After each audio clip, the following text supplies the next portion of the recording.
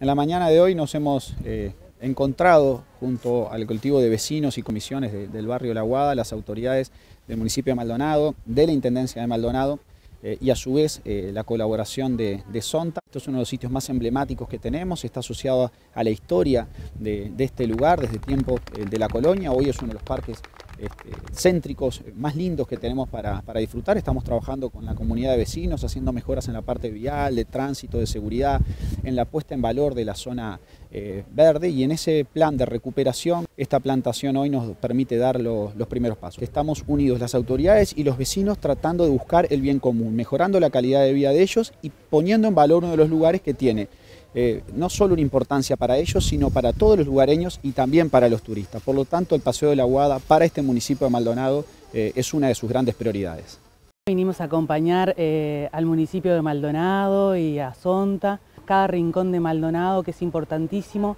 no solamente para la población, sino para el turismo tanto interno como,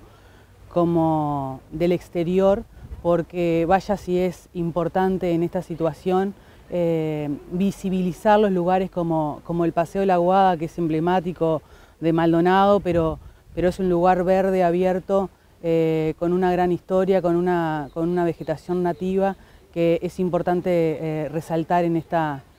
en este tiempo, ¿verdad? Seguir trabajando para un Maldonado mejor, para tener un turismo mejor y, lugares, lugares que sean verdaderamente valorables, que son la naturaleza.